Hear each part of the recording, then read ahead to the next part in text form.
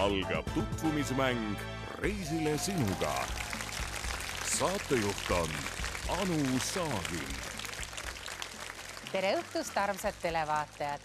algamas on Eestimaa populaarseim tutvumissaade. mängureeglid on lihtsad. meil on kolm valitavat ja üks valija ja kolm salapärast ümbriku. ja nendes ümbrikutes on üks romantiline õhtusöök, üks meeldiv spa-nädalavahetus või reis soojale maale. aga tänased mängijad on teie ees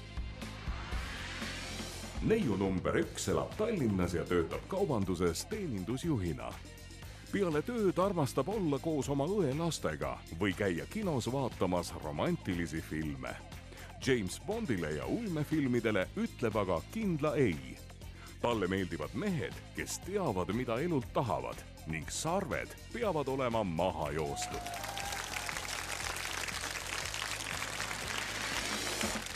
neiu number kaks töötab Tallinna haiglas hooldusõena.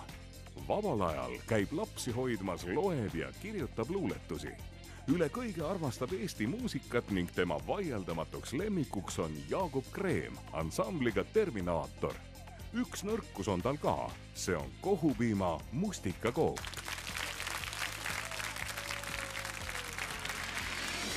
neiu number kolm elab Tallinnas Õismäel elatis teenib koolitajana toitlustusvaldkonnas ja vaba aega sisustab kodus lapsega õppides. kui võimalik, läheb kinno head filmi vaatama või loeb inglisekeelset kirjandust. tere, naised! tere! uh, jess, kõva ja selge häälega. kas te olete valmis? jaa. jaa. kohe kutsun siia ühe toreda härrasmehe aga enne seda pean ma kahjuks teie vahele tõmbama seina, sest tema saab oma otsuse teha vaid teie hääle ja vastuste põhjal. nii et edu teile. tänan. täname. tõmbame vahele seina. ja nüüd kutsume stuudiosse meie tänase noormehe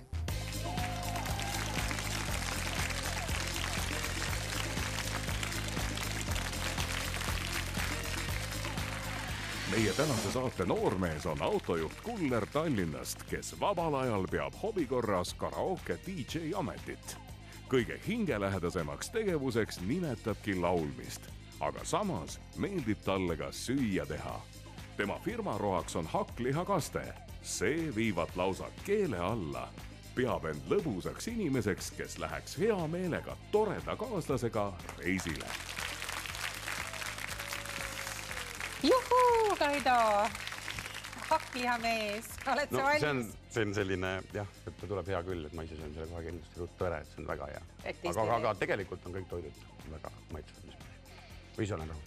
Mhm, okei, hea kokk oled ka? just. okei, kas sul on küsimused valmis? no ikka. väike värin on sees, on.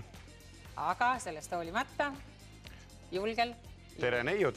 tere. esimene küsimus kui on läbi väsitav töönädal ning vabad päevad reede õhtu ja nädalavahetus tulemas, siis kuidas meeldiks kõige parem seda veeta, et saaksid öelda esmaspäeval oli see alles hea nädalavahetus. vastab neiu number üks.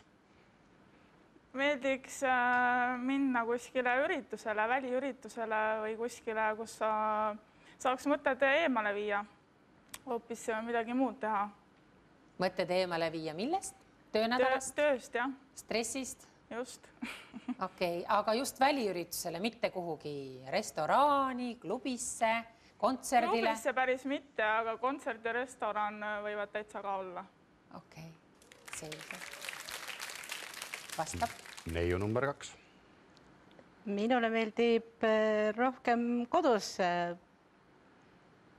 kuulan head muusikat, loen raamatut, võtan aja maha, ühesõnaga kas sul on väga stressav nädal?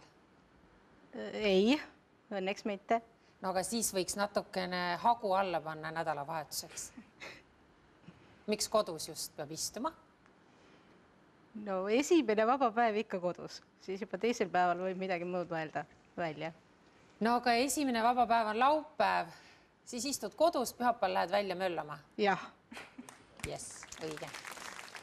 ja vastab neiu number kolm no kõigepealt äh, veedaks äh, ühe päeva kindlasti perega, teeks filmiõhtu, sööks popkorni, vestleks erinevatel teemadel ja pühapäeva õhtu lõpeks mõnusa vanniskäigu ja lõõgastava muusikaga. kas vanni minnakse üksi või kaksi või kolmi või? no esialgu ikka üksi, aga kes seda teab. kas sa käid korra nädalas vaid vannis? Äh, konkreetselt vannis mõnulemas jah, korra nädalas. muidu on kiired dušid siia-sinna. selge. ma ei hakka küsima, kuhu. kiired duši. okei, küsimus number kaks. küsimus number kaks. kuna ma teen karookesid ja mulle meeldib laulda, siis kui me ühel, kui me läheksime kuskil avalikus kohas karooket laulma ja ma annaks võimaluse sulle laulu valida, siis mis bändi laul see võiks olla ja mis sõnumiga see laul võiks olla? ja kes vastab? vastab neiu number kaks. lemmikuks on Terminaator Jaagup Kreemiga. miks, miks just Jaagup? ta on niisugune mehine mees. just, ta on mehine mees. on ta Jah. natukene nagu sinu unelmate mees? No seda ma päris ei ütleks. aga milline on sinu unelmate mees? kas mingi, ütle mõni, mõni näide eestlaste või siis äh, välismaa artistide, filminäitlejate seast, sest minu kõrval praegu istub siin natukene Jaagup Kreemi moodi mees. aga tattuusi sul ei ole jah, nii. kahjuks jah, ei ole jõudnud. et nüüd ei tule nimi meelde. aga laulja on ta spordimees, näitleja, näitleja, vanem, noorem? ma arvan, et keskealine. Selge, okei. vastab neiu number kolm. Äh, esialgu võiks ju tiigrikutset proovida ja edasi saaks vaadata, mis, mis muud valikud on. okei okay,, tüüpiline laul karaokes. no sa oled karaokee mees, kas see, kas sa lihtsalt käid veetma aega, aega nagu karaokeed laulmas või siis korraldad suisa no kui selliseid ma korraldan, siis ma pean ka ise laulma, ja, ja selge, aga ikkagi põhimõtteliselt ma korraldan, et enam ei, nagu niisama ei kisu sinna. ei kisu laulma, okei okay.. selge, aga sul on veel üks ja küsimus. vastamata veel neiu number üks. sorry, ma olen nii erutatud. mina valiksin Itaka Maria Hopaparei, sest mulle meeldivad sellised äh, särtsakad laulud ja saab ennast äh, väga hästi tantsida ja ennast välja elada. aga see on päris keeruline laul. jah, väga hea laul sa oleks nagu laulnud seda varem. pane, ütle paar rida. Hopaparei. oli hästi ju, väga hea. okei nii, küsimus number kolm. kui me koos läheme nüüd võib-olla reisile või, või saame spaapaketi, kuhu kuulub ka öökahele, mis sa arvad, mis võiks olla see sellel õhtul või ööl, mis teeb sind teistest naisteks paremaks ning erilisemaks minu jaoks? vastab neiu number kolm.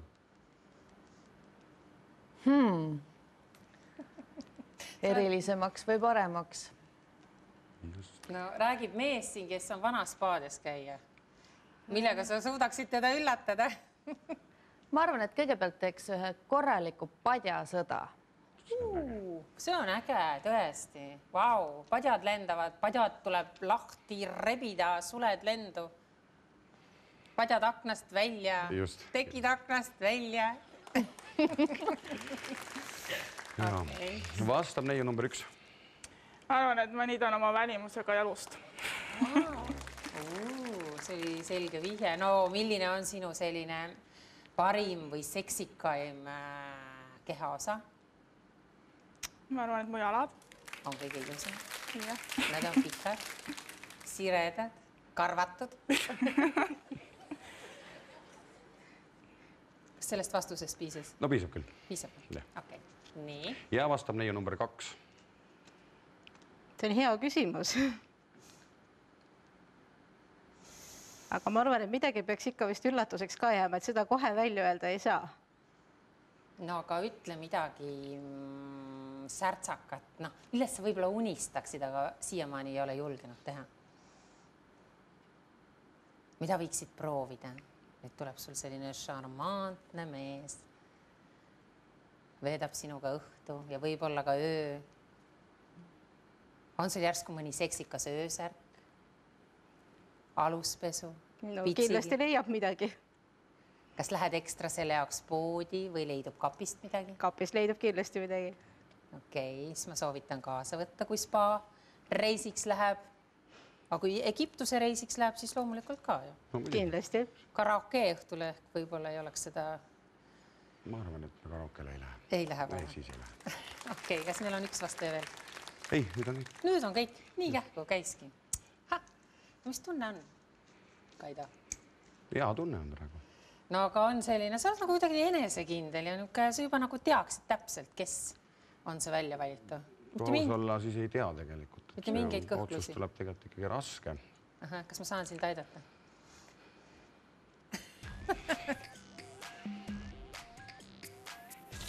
aga tütarlapsed, niikaua kui mees mõtleb siin, teie võtke kätte oma ümbrikud. ja nüüd Kaido, Ü, K, K, neiu number kaks. neiu number kaks, juhuu okei okay,, Kaido, aga enne kui sa näed neiut või naist või daami number kaks, tuleb sul tutvuda ka nende ülejäänutega, kellest sa ilma jäid. Okay. nii et palun tõuse püsti ja kelle me nüüd ette võtame siis number ühe? number ühe. neiu number üks tuleb siia. tere! kaunitar. kuule, vaata seda naist. kahju ei ole või? on ju Tallinn, kes sinnapoole, õhtusöök, kus koha peal? restoranis Komet. see jäi nüüd ära kahjuks. nägemist. nii, Kaido, võtame nüüd. neiu number kolm. Mm, milline magus amps. ja kuhu me ei lähe? ja meie ei lähe Egiptusesse. oi kui kurb. kas on nüüd kahju ka? muidugi. selle toreda naisega oleks oh, nii armas olnud minna. ära nuta aga nüüd neiu, daam, naisterahvas, tule teisele poole seina, seinale hästi lähedale, ära ümber seina tule. Kaido seisab siinpool ja nüüd tuleb see tähtis hetk, Kaido. sind ootab seal tõeline üllatus, mida sa aimatagi ei oska. üllatus kogu eluks. kas sa oled valmis? olen valmis.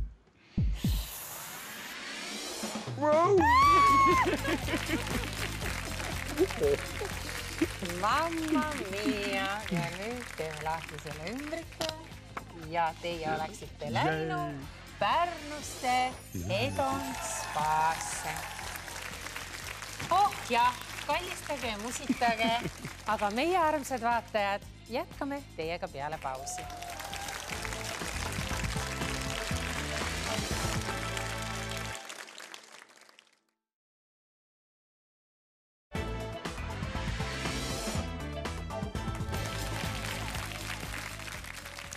Eesti parim tutvumissaade jätkub ja meie ees on kolm noormeest. noormees number üks on värske tallinlane, kelle erialaks on kontorite sisustamine. tema huvialaks on fotograafia ja ta on kaheksa aastat teinud ka klubifotograafi tööd. nähes, kuidas inimesed iganädalaselt pidutsevad, on ta jõudnud tõdemuseni, et oma elu ei tohi raisata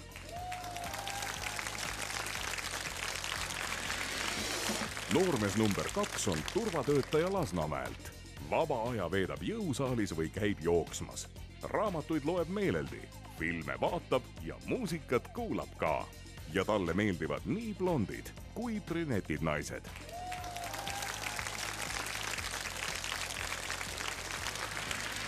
noormees number kolm tuleb Rae vallast ja elatist teenib hooajatöödega. vabal ajal jalutab koeraga ja suhtleb sõpradega suvel armastab rattaga sõita ja talvel käib suusatamas. Enda kohta ütleb, et on vaikne, töökas Eesti mees. tere õhtust, noormehed. õhtust. tere. tere, tere. tere. kas te olete vägikaika vedamiseks mänguks lustiks valmis? valmis. valmis? Oleme. Sina, Rae valla mees, kõige vaiksem, sa oled kuidagi tagasihoidlik, niimoodi naist küll ei saa kõva häälega ja selge häälega tuleb rääkida, sellepärast et see tütarlaps, kes siiapoole tuleb, siiapoole seina, see ju ei näe teid, ta kuuleb ainult teie häält ja teeb oma otsuse teie vastuste järgi.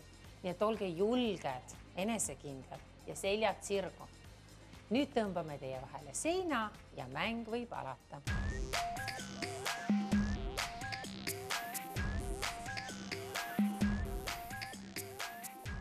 Ja nüüd paluksin siia Pireti.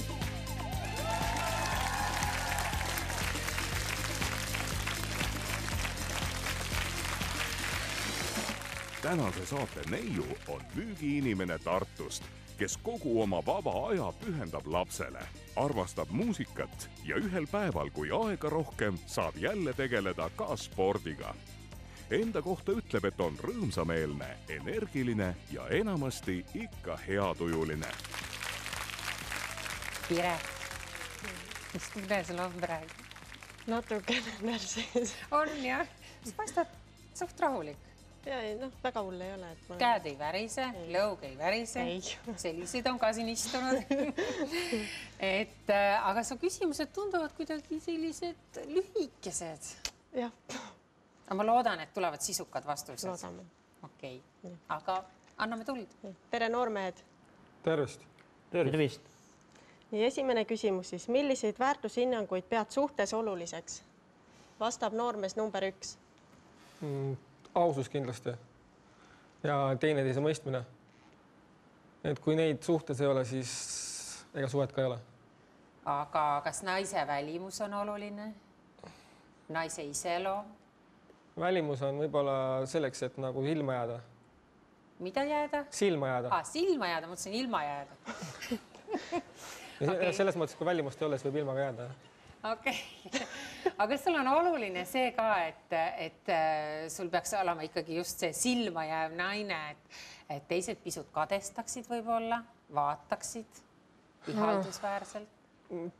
nii ja naa, selles mõttes, et kui väga silmapaistev naine on, siis võib ka ilma jääda temast pikapeale. siis on ka jama, jah, et pigem olgu selline Harju keskmine või? ei üle, üle keskmise natukene. no võin sulle kinnitada, et siin istub üks väga kaunis neiu, nii et, et äh, hirmu tunda pole vaja aga see oli kõik sinu poolt, et need on need omadused, mida sa ootaksid jah, sellelt naisterahvalt. okei okay,, vastab number. number kaks. kõigepealt sarnane iseloom nagu minul nagu sinul, milline on sinu iseloom? äh,. mul on raske iseloom naine võib ka raske iseloomuga olla siis. viskab potte panne. mis on raske iseloom, natukene no paar sõnaga raske öelda. no aga ütle siis, ütle siis viie sõnaga. viie sõnaga ka raske öelda. aga mis teeb naisterahvast sellise raske iseloomuga naisterahva, kas tal on? kas selline, kes ei anna? ütle uuesti, palun. seda ka raske öelda, kõik on raske. kõik on raske, elu on raske. elu on raske. on jah, aga võib-olla alustaks üldse sellest, et elu on nii raske, et, et, et naist on ka raske valida. jah. Vot nii huvitavat vastust polegi enne kuulnud. okei okay., no lähme, ärme kiusa, lähme kolmanda jah. juurde. Need iseloomud peavad äh, klappima iseloom peaks klappima, aga milline mees sa ise tegelikult oled? ähm, oled sa selline lõbus või pigem tagasihoidlik või armastad sa mürtsu ja kärtsu või rahulikke koduseid õhtuid? ka äh, lõbus mõnikord. mõnikord lõbus mõnikord kurb. mõnikord tõsine, kui tö- tööd peab tegema ja et kui tööd peab tegema, siis võtab tõsiseks. äh, näed, kui lõbust ja parasjagu ei ole, et siis küll. ei saanud aru. ma kui on lõbus töö, et siis on äh, ja hea meeleolu ja Jah. siis, kui, aga milline on lõbus töö üldse? ma ei olegi lõbusat tööd näinud peale minu enda oma no loo. vahest ratturiga mööda maanteed kimada, et äh, põllu peale no, päris huvitav raata tööle ja okei aga kas sa pidus, pidus armastad ka käia? no vahest ikka, kui keegi sünnipäev on või midagi aga niisama, et nüüd on, tuleb reede õhtu või laupäeva õhtu, läheks pisut tantsu lööma, no,, mõnikord tuleb seda ka ette aga harva. ossa poiss, vot need on huvitavad mehed täna teisel pool seina. aga lähme järgmise küsimuse nii, juurde. teine küsimus, kui meie sinuga võidaksime lotoga miljardi, mida teeksid, muudaksid? ossa püss, Bahamale sõidaks sisse. mida ma teen siis selle summaga? jah, no seda on ka raske öelda. ära ütle kogu aeg, sul on kogu aeg üks ja sama vastus, seda on raske öelda. jaa, aga miljard eurot, see on nii suur summa, kui äh, te alustasite küsida, mida ma teen miljoniga Jah., siis on ka raske öelda, et nii Aga suur summa. kõik on raske. aga mis sa Kui- teeksid äh, tuhande euroga? no tuhat, see on liiga väike summa. jälle vähe. jah, no sada tuhat, no sada tuhat, vot see on normaalne, Normaalne. see on normaalne õige. nii, mis sa teeksid saja tonniga? no näiteks ma arvan, et kõigepealt äh, äh, ostan maja, õige. saja tonniga sa ei saa mingit maja. tead, palju majad maksavad või? no, miljon maksab üks korralik maja. no see on, see on liiga suur maja, mul ei ole vaja nii suurt. no aga sa ju tahad seal elada koos naise ja laste ja koerte ja ja kassidega,. ja no normaalne keskmine maja, ma ei tea, nelikümmend tuhat umbes või ah,. okei, neljakümne okei. tonni eest ostis maja, ülejäänud kuuskümmend tuhat. No ma kõigepealt arvan, et lähen õppida õppima, ja õppima nii, uh,. no ülejäänud summa lihtsalt saab pangakontol olema ja siis uh, annab uh, rahuliku tunne, isetunne. naisele mõne väikse briljandi, kasuka no see on liiga väike summa, et no ma räägin, oleks kohe võtnud selle miljardi. millest sa räägid, sa oled nii tagasihoidlik, sa nagu ei tahaks, sul oleks nagu kahju kulutada. kui oleks miljard olnud, kui oleks vähemalt miljongi olnud, no okei okay,, ütleme siis miljon just oleks naisele pisut rõõmu saanud tuua ja no ütleme nii, kui on hea naine, siis ma annan talle umbes pool, ma arvan, sellest summast ja pool minule ja jess, vot seda ma ootasingi, sest see naine, kes minu kõrval siin on, on seda väärt. usu mind, võta see miljon välja. nii oli veel keegi vastaja? number kolm, palun. jah, Äh, kõigepealt auto korda, siis maja korda ja kui raha üle jääb, siis ümber mõelme reisile. nii, aga miljard, see on ju nii suur summa. aga see saabki auto korda. ja, ja veel reisiks ka. nii, kuule, miks sa autot hakkad remontima, kui sa saad selle miljardi, osta uus, osta kümme uut autot, mis sa seda vana ikka hakkad remontima, sa oled nagu selline nagu Eesti mees. uunikum enam ei müüda ju. Uunikum ei müüda, sul on uunikum auto. no veel ei ole, aga mingi kümne aasta pärast on juba uunikum. oota, praegu ei ole uunikum, kümne aasta pärast on uunikum no ja see siis on, no mingi kümne-kahekümne aasta pärast. aga ta on sul praegu katki juba, nagu ma aru saan, sa tahaks hakata kohe autot remontima. Ehm, no katki päris ei ole, sõidab aga sõidab natukene ikka. äh, nagu tead, mis asja, mul on ettepanek, müü kõik, unusta kõik need asjad ära, võta üks korralik reis kõigepealt, lõõgastu, puhka ja siis, kui sealt ümber maailma reisilt tagasi tuled, siis mõtle edasi. on ju? jah, teeme nii, no teeme kõigepealt lähme reisile ja siis vaatame neid autosid ja, ja autoremonti ja muud värki. just. on ju? okei, aitäh sulle. ja number üks, palun.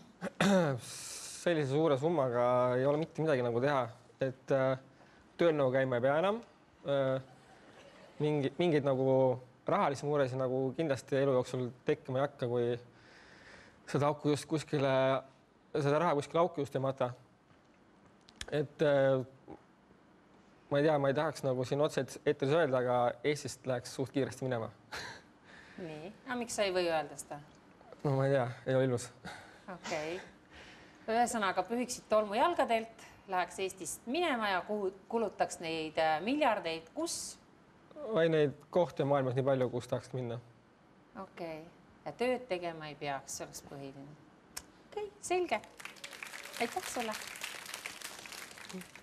ja kolmas küsimus, mis on sinu jaoks armastus? vastab number kolm. armastus on sügav kiindumus mingi asja vastu või kellegi vastu. kas sinu elus on olnud suurt armastust? loomulikult me kõik armastame oma ema ja me armastame oma kassi või koera või kellel on lapsed, need armastavad lapsi ja, lähedasi ja peret ja aga sellist, sellist romantilist armastust, kas on olnud sinu elus? eks see tuleb veel. Järsku see tuleb täna õhtul. number üks, palun. väga halb küsimus. et äh, see on midagi väga suurt. et iga inimese jaoks on see täiesti individuaalne no ühesõnaga, see on midagi väga ilusat. kas sinu elus on olnud seda midagi väga ilusat? Mm, kindlasti. Aga see on otsa saanud äh,? ei, mõni armastus kindlasti kestab mul veel. nii. mu huvid näiteks. okei okay oeh, see on tõesti nagu nii raske küsimus, et sellele on päris keeruline vastata, tundub lihtne. see ongi see point, et, et poisid, et te avaksite ennast natukene rohkem ja oleksite julgemad. teate ju seda, et naised armastavad sõnu, sõnu ja veel kord sõnu. Et nüüd keelepaelad valla. number kaks, palun. no ma arvan, et äh, meie elu on armastus, et see on nii äh, see on kõik armastus. me ei saa ütelda, et ainult romantiline armastus või ainult äh, mingi teine armastus, et elu põhjus on armastus ja äh, temal on palju erinevad viisid ja äh, kõik on armastus, kõik, mis me näeme, kõik, mis on igal pool, tegelikult on armastus kas sinu elus on olnud tõelist armastust? jah. aga see lõppes kurvalt, sest sa ohkasid kuidagi sügavalt. no ma arvan, et ma hoian sees nii suur armastus, et mõned naised, mis mul oli, need ei nagu ei mõistnud sind? võib-olla ja. kas sa oled haiget saanud? ei. ei ole haiget saanud? aga sa nii ohkasid mitu korda, nii kurvalt, et, et see üks armastus on üks raske asi küll. see on kõige loomulikum, loomulikum ja äh, paralleelselt kõige raskem asi. kõige keerulisem asi. kõige keerulisem asi, jah oh, pani meid ka ohkama. kas oli raske ka oma valikut teha? jah, on küll, et ühel oli parem, siis oli teisel parem. poisid, aga teie võtke kätte nüüd need salapärased ümbrikud, kus sees on üllatused ja Piret siin veel sekundi murdosa mõtleb ja teeb oma otsuse mehed olid natuke nagu kurvavõitud. kas polnud? meie siin ihihi jaha onju, aga nemad olid nagu väga kurvakad, et, et võib-olla sina suudad särtsu tuua kellegi ellu. elame, elame. kes see võiks olla? valin number ühe. vali number ühe.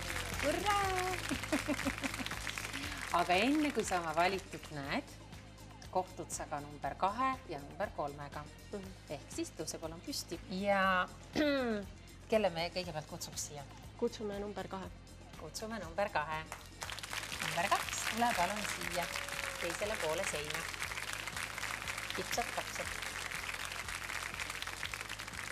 kitsad-kapsad. mõmmik saabus sealt. kas on kurb mõmmik või? ei, ei ole, ei ole. väsinud. siis võta kätte ümbrik, tee see ümbrik lahti. ja näita kuhu oh.. fa, fa, fa. Egiptus oleks oodanud teid ja see oleks võib-olla natukene energiat süstinud sinusse ka. aga nüüd loodan see. kahjuks ära. aitäh sulle Aitäh. ja kõike paremat. nägemist. nägemist. palun sinnapoole. number kolm. tervitus, jälle üks mõmmik. nii, keera sinnapoole, seal kaamerad on sealpool. näita, kuhu teie oleksite läinud. näita neile ka. Tallinna õhtusöök Argentiina restoranis. Nonii, mis sa nüüd ütled, vaata, milline kaunitar. süüa ei saagi. süüa ei saa. mis nüüd saab siis? süüa ei saa. head aega. aitäh sulle. nii, aga noormees number üks, tule siia seinale hästi-hästi lähedale ja sina, Piret ka mine siia hästi lähedale. ja nüüd tuleb see tähtis hetk, kui sa kohtud oma väljavalituga. võtame seina eest.